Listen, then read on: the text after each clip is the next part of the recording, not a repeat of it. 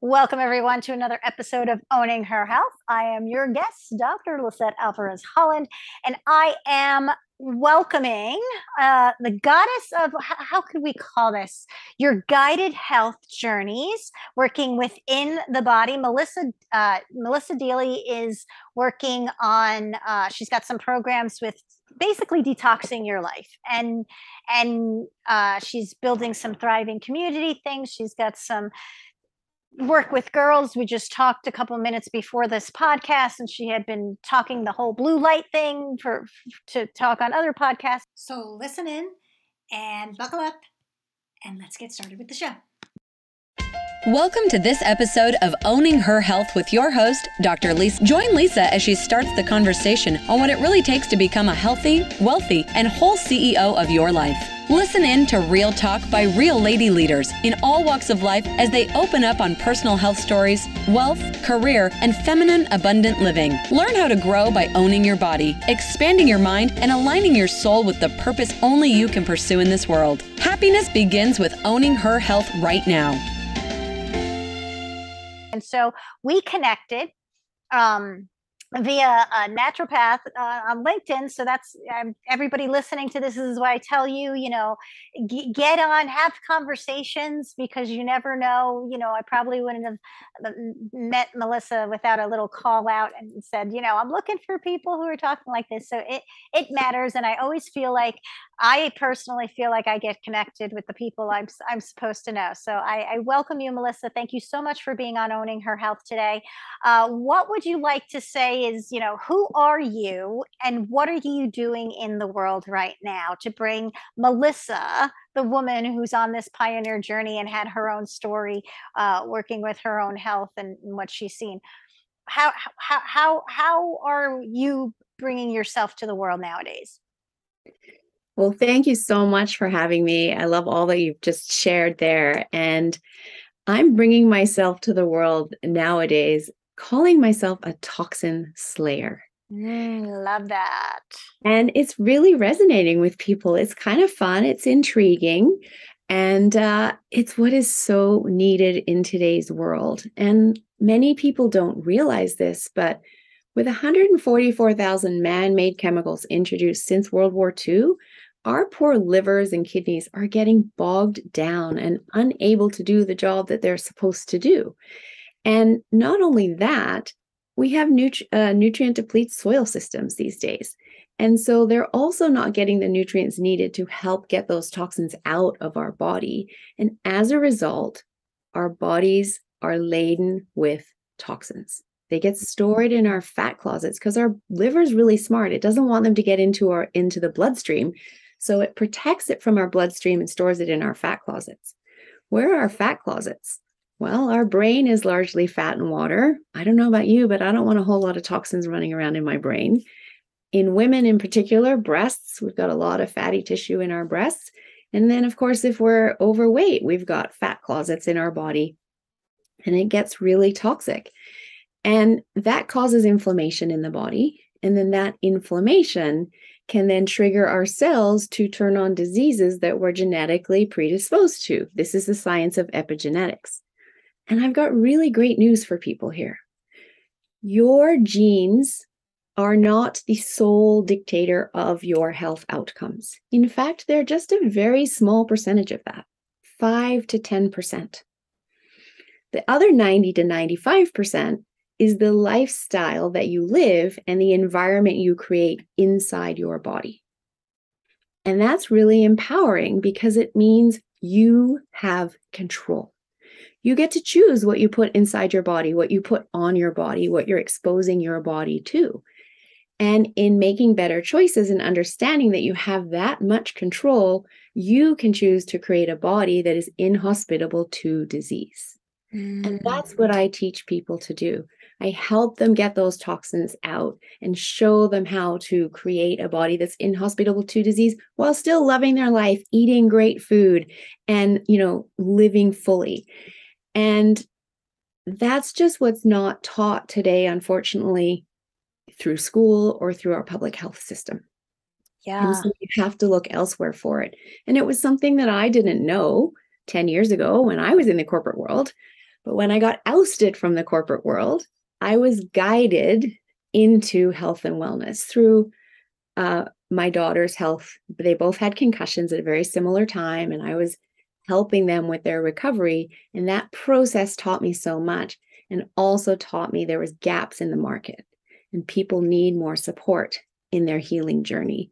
And it was something that I was very interested in. So I went back to school and I went became a health coach. And as I'm at school learning to be a health coach, I'm going, why don't I know all of this about my own mm-hmm. body? I'm in my 40s mm-hmm. and I've never been taught this. And I realized, well, because I've been busy, you know, getting other degrees and building my career and being a mom and being a wife. And so then I realized how many other people don't know this as well. And here's an opportunity to pay it forward and educate people that want to take control of their health, that want to optimize it, that want to live to the very end, you know, and not spend 10 years in a nursing home, which is what the average North American is doing right now. And once yeah. you're in a nursing home, that's not quality of life. That's just waiting to die. And then just this week, I did some research at the cost per year of being in a nursing home. I'm scared. What is it? Thousand dollars. Hundred and eight or eighty? Eight right eight. now. Hundred and eight thousand in 2022. Uh, that's just basically room and board and meals, right? Mm-hmm. That's not any extra yeah. medical care because that's it's your extra six figures of your education that you start out right as this young person now going to college and then at the end of your life you're going to pay another and like in the middle you're just going to make yourself miserable if you don't own your health Exactly. and by 2030, which is only eight years away, it's going to be at 140,000. So that's how much it's escalating in a short amount of time. And that's probably you know, we're probably not really bringing in all the ramifications from the post the long COVID syndrome, and that was just stuff we're kind of basing on what was going on before the exactly the pandemic. Totally. it was right, right. So we're going to have a lot more, was. you know, these chronic types of, you know, lack of tolerance that just cannot play the game the way we have. We couldn't play it before, but we seem to be okay with you know, cancer rising every year and kids cancers. I mean, I I just I don't even remember it. I'm I'm 50 years old. I don't remember all these kids having cancer in right. my town. I mean, they didn't right. hide them; they just didn't have it. You know, right? Like, exactly. you so know, we need to be asking why. Right. Why is all of this happening? Right. And we have all this chronic illness out there in the world today, of which, you know, can't some cancers fall into that chronic illness category, as do type 2 diabetes, heart disease, obesity, leaky gut, autoimmune diseases, Alzheimer's dementia is even is also a chronic illness, right? A lifestyle disease. And I truly believe we wouldn't have all of those lifestyle diseases if I could show the world how to help our body remove the toxins and stop storing them inside. Right. Because if you look at Ayurvedic medicine in India or Latin American cultures or Asian cultures and traditional Chinese medicine, they all still detox to this day. It makes sense. It's just, and it, and it could be as simple as I know working with pelvic health, it was, you know, there's the question, are you constipated? And everybody said no. But then if you you have to ask the next question, which no offices really do unless you're into pelvic health and you understand this eh, or functional medicine and you just say well are you telling me that you're you know that you poop one, you know twice a day and it looks like a a, a a banana you know if i were to squeeze out a banana and it's nice Oh no. Oh no. Like, well, then you're constipated.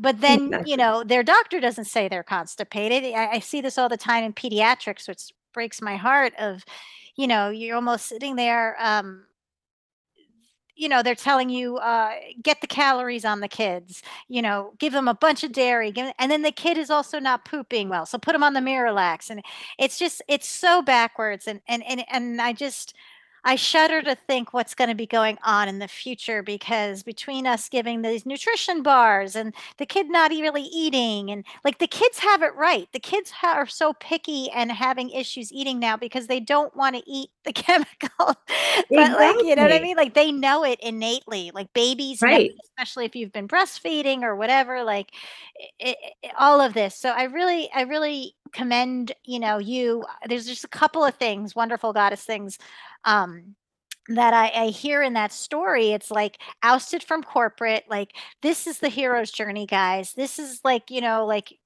you think it's bad for you, but then you look back and you look back and you're like, oh my God, that was the best thing that ever happened to me. you know, this is a typical thing that one of these evolutionary women will be feeling. So if this is happening to you right now, like listen to Melissa's story. You know, you know my story, even especially after the past couple of years. Like this is just what happens when you're called. Sometimes you're not on the right track and you just get repositioned and and it and it's crazy. Um, sometimes it's your disease, sometimes it's like you said, you you know, you had this opportunity opportunity to work with your daughters but the the lights will get turned on and then then you went and you went into your second life of i'm going to go do health coaching and you were in your 40s and you were you know courageously doing that and i think a lot of um people, especially women, sometimes they're like, "Oh, I'm going to compromise or I left my whatever career." And and they don't even think like how could I like go back or or pivot or if they pivot, maybe they don't have like that why fire in them and you do something on the side, but it never really like and I'm not saying you have to be a big boss lady. I'm just saying like something to you went in and you did something for yourself and and it's sort of guiding you. And again, that's another typical thing that sort of I feel is like a grace that sometimes we miss and and and you know, we have to open our eyes to. And then the third thing was uh, something that you brought up that I want to kind of dive into a little bit more is, you know, especially as women, we're so like the weight loss, the weight loss, the weight loss, and we go on these things for like to get rid of all of our fat. But we may not be understanding that we've been collecting so many toxins in there that we are creating we need some guidance, not just to like drop this because where do you think it goes? It, it floods our system. So, what can you speak to that in case somebody's just sort of a little confused? Because I think it gets confusing with the doctor being like, go on a diet, get lower your fat, and then you're going and exercising. But maybe you've been so toxic because you've been in corporate culture a while, you've been in a stressed out relationship, you've been running around or whatever what can we kind of just say and, and talk about like kind of the precursors to that because that that can really hurt you. Yeah yeah because we've you know we as you said we flood our system with these toxins. So a few things there um, i work with the physical the mental and the emotional bodies right and by the time symptoms are showing up in the physical, they've already moved through the mental and the emotional bodies. Right. So, in terms of removing toxins, we want to address removing them in all of the bodies. And there's different techniques to be doing that. And so, you know, people definitely want to be working with a practitioner that's trained in specific techniques. The one that the ones I'm trained in is hypnotherapy and timeline therapy to help mm release those toxic emotions release the toxic thoughts and attitudes that could have been totally programmed in in you know the corporate world and they certainly were for me and that was something that i had to do and go through for myself and then with the physical um, i guide people through detox programs and it's a functional medicine detox program. And the reason that i guide people through is that it is a powerful program. It's not just a store bought program that you buy off the shelf and you do it yourself or you just drink some tea right? That's not actually going to release all of the toxins. But when we do it through this program, it's done in a very safe way because you're guided through, and we're using supplements that actually help open up the pathways, support the liver and kidneys in converting those toxins to being water soluble so the body can actually release them through our urine, our breath, our skin, and our bowels. And having those pathways open is absolutely critical. So, using supplementation to do that and a guided program is truly the best way versus store bought. Right. And holistic, like, it, like you said, like exactly. it's gonna you could you could use the breath, you could use the skin and sweat and things like that. But like exactly. so many people are doing it like just one way the wrong way usually. right. And, and, and store bought or whatever their friend yeah. did. And then you don't feel right? well. Like at first you exactly. just don't feel well and you might give up give up or do other things to supplement that and not understand it. So anybody kind of listening to this, it's a process. It's a process and and that's kind of why, you know, in owning your health, it's it's not just what you're doing it's who you're being so i love melissa that you that you kind of look at that because i'm all about that i have five realms of wellness of five five realms of being in my system that i always worked with mm-hmm. people and i still use that even when i'm pivoting them to create their own brand and this and that it's still the same thing in terms of like trimming the fat you know like getting out the toxins who who yeah. who do you be it's all the same thing um and tell me a little bit about you know so so you know all of this and i know sometimes what we get challenged by especially as mothers it's like oh my god you almost feel like guilty you didn't know it sooner or you couldn't have applied it or like why did you like you said like why didn't i know this? Well we know why because allopathic medicine as wonderful as it is when you're on death's door or you are horribly diseased it really doesn't know what to do to not make you in that position um, or let me say it this way it knows exactly what to do to help but but nobody's really trained to do that so they're not going to work out of their you know realm to do that. Um, how did you deal with that? Like like what do you wish you had known 10 years ago? When you look back 10 years or so or even 20 years you know whenever you before you you, know when you were there working and doing all the things you were taught to do right? We did right. all the things we were supposed to be doing and we weren't doing it wrong, we were doing it right, but what do you wish you could say now to that woman or any woman who's still sort of living in that illusion?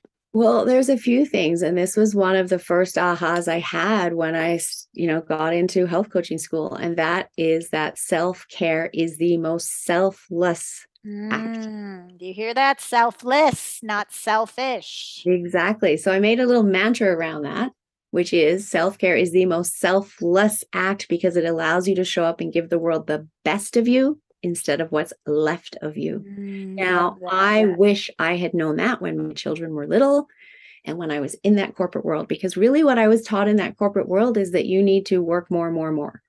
So you're paid 40 hours, but really we're going to expect that you do 50 to 60 hours every week. We're just going to pile that much work on you and you need to get it done. Right.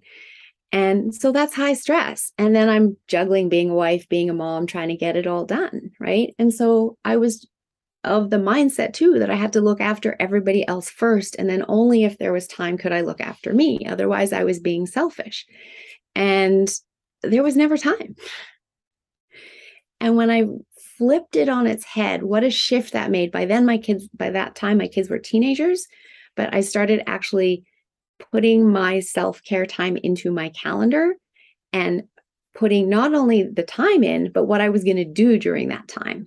Because if I didn't mm. say what I was going to do during that time, yeah, it's super easy to be like, oh, look, I've got half an hour and just, oh, see what's happening in Facebook. And then the half an hour is gone. Right. Yep.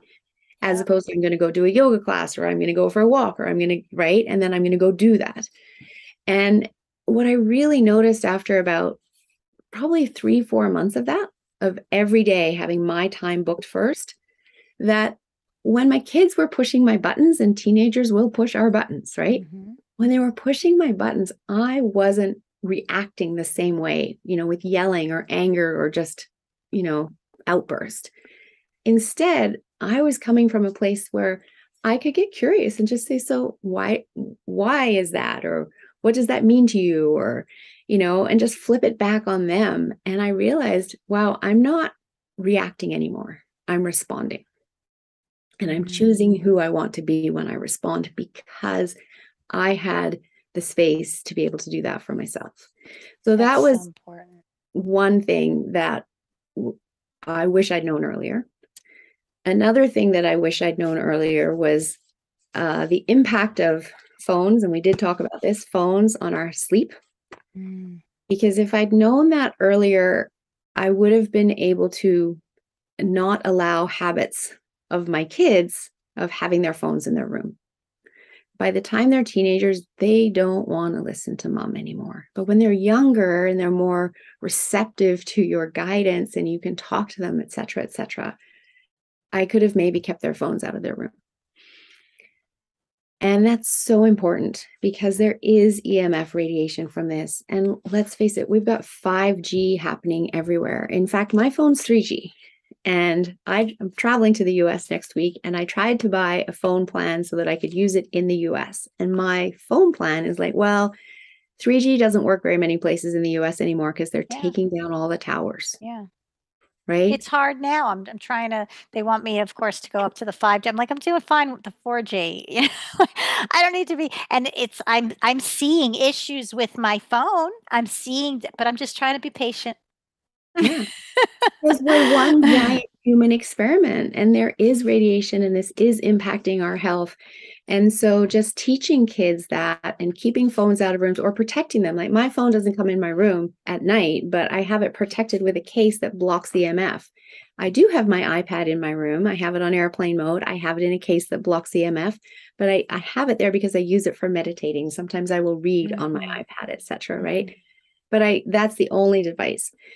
Um, so just understanding that and have being able to talk to my children about that when they were younger and more receptive and now they're adults right? So they do their own thing and they make their own decisions and they're still at that young adult stage where mom doesn't really know anything. Yeah. Well that's the thing right? i mean i have i have a 19 and 23 year old and just that's i think that's one of the hardest parts of parenting right? And i feel like this attachment you know you you you you were like eating different you were birthing this babies you know and even if you just had got them as a baby or you know like it it it, it just feels different. It feels different you know um and and that's the whole thing like from the moment they're cut from you umbilical cord it's all about letting go. Yeah. it's all about letting go and it's so yeah. hard but it, it's such a personal evolution yeah. um through that process and then if you can combine the right? The wisdom that you're gaining, which always seems to come back for women to mm-hmm. nature, nurture, social issues, right? Like you want you want a better place for your grandchildren, and, and research shows that when women get money through their businesses they'll pump it back into their families into their own education into their so they can be better for the society and things like that at the rate of 70% versus 30% of men so it, right. it is so important that we're taking care of ourselves owning our health while like you said you're doing the whole corporate thing and you want to be the boss of this and you want to be the leader of this it doesn't matter if you're sick and everybody underneath you and everybody around you is either going to have to care for you or you know witness that and and and you're going to feel that way. So thank you for for sharing that i'm going to flip that. So let's just say you know melissa's work and guiding people's health journeys is a smash and you're all over the place and you're talking on a bunch of stages and we're 10 years down the line and you were able to impact in your vision. Give us a little vision version of that vision that that woman is telling you in your ear it happened. It, it's a it, you did a great job. What is she telling you right now to keep going in?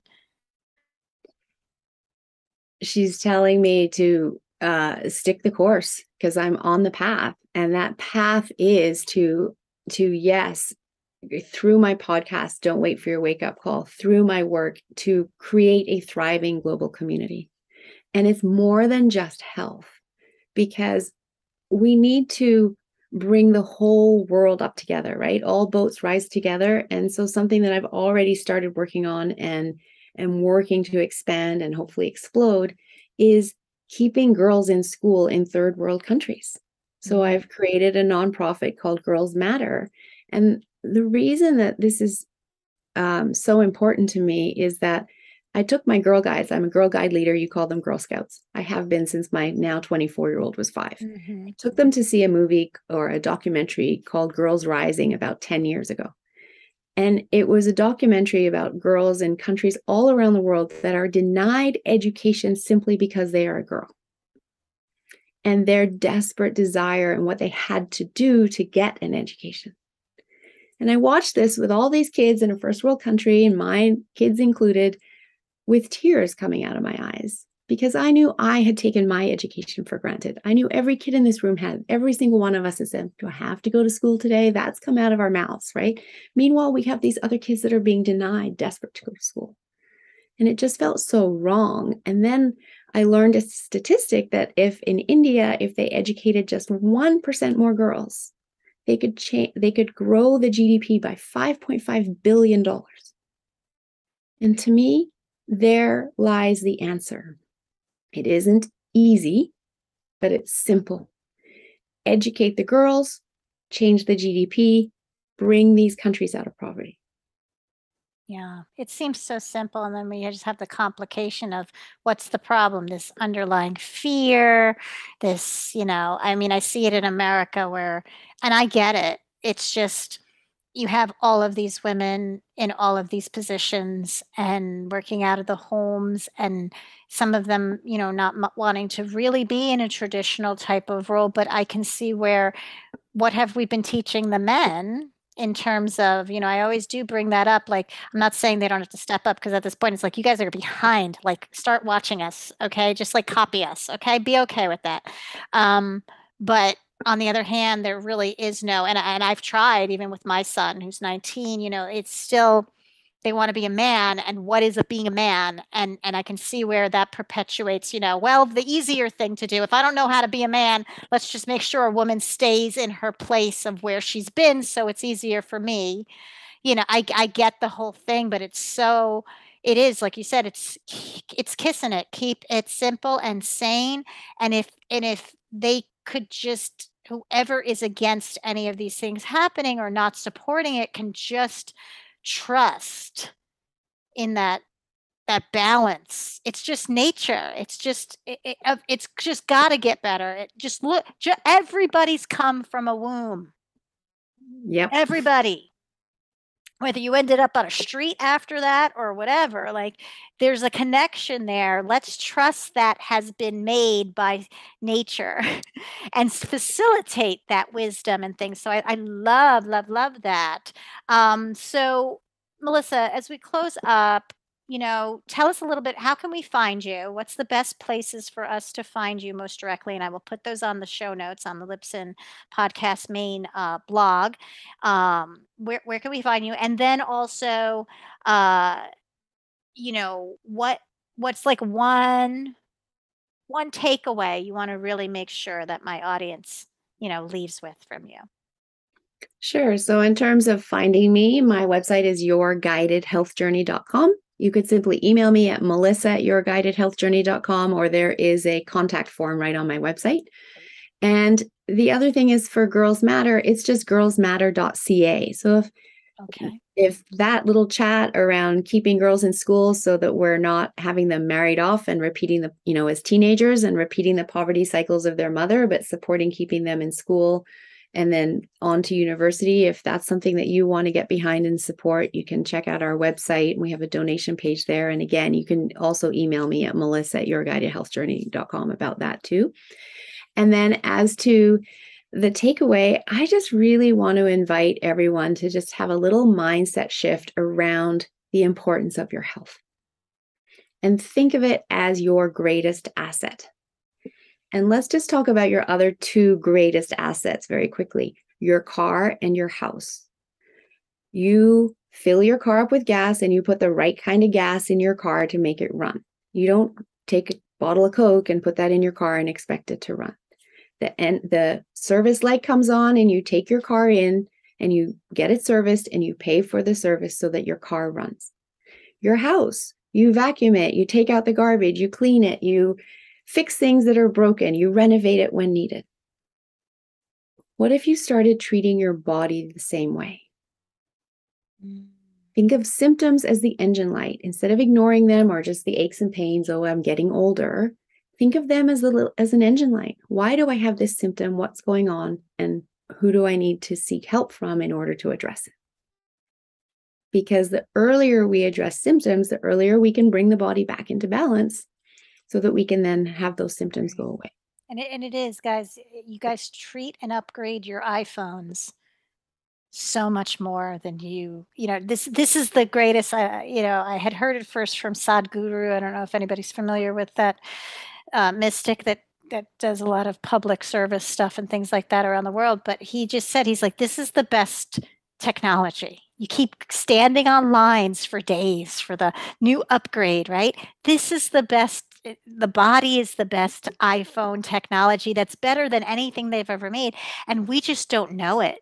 I mean, that's really what this conversation is showing, right? Like the, the, we we hear about gut health, we hear about toxins, we but like how sad is it that we're driving a car or we're living in a house where there's some rooms we've never gone in, where there's you just never looked under the hood. And I used to say that all the time to the women I would work with if I was the first one putting a mirror down to their pelvic floor to just show them what I'm talking about, and they were like 50 years old, I was like, "So you have five kids, and you had two husbands and boyfriends, and all of this other stuff, and uh, and and I'm the first one showing you what everybody else saw." you know, like it, it, we've got to stop doing this, right? So thank you so much because it, just the littlest thing, guys. Whoever's hearing this, and especially if you're on this wild, wild journey of sort of, you know you're not you're owning your health but you're whole, owning your wealth you're owning your well-being you're owning your life uh, it's going to take a village not just for mm-hmm. kids for adults it takes a village